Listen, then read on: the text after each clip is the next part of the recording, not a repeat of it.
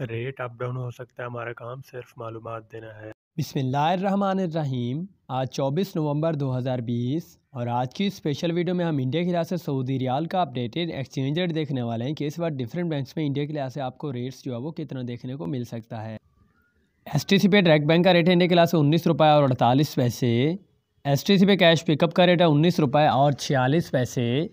जबकि Riyadh bank rate देने वाले उन्नीस रुपये और तिरपन पैसे इंडिया के लिहाज से सिर्फ़ और सिर्फ़ आज के दिन।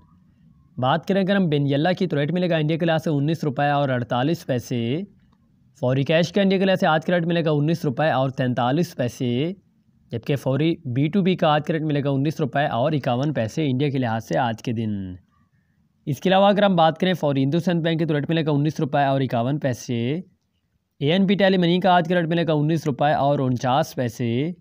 जबकि मनीग्राम इंडिया के लिहाज से आज के रेट देने वाले उन्नीस रुपये और उनसठ पैसे आज के दिन। एक्सप्रेस मनी रेट देने वाले उन्नीस रुपये और बावन पैसे। तवील अल राज़ी का रेट होने वाला है उन्नीस रुपये और बावन पैसे। जबकि N C B quick pay B to B का रेट है उन्नीस रुपये और छत्तीस पैसे इंडिया के लिहाज से आज के दिन। वेस्टर्न यूनियन जात बैंक का रेट मिलेगा उन्नीस रुपये और छियालीस पैसे। ट्रांसफास्ट बी टू बी का आज का रेट मिलेगा उन्नीस रुपये और इकसठ पैसे, जबकि इंजाज टू आवर्स का रेट मिलेगा उन्नीस रुपये और इक्यावन पैसे इंडिया के लिहाज से आज के दिन। तो शेयर लाजमी करें जजाक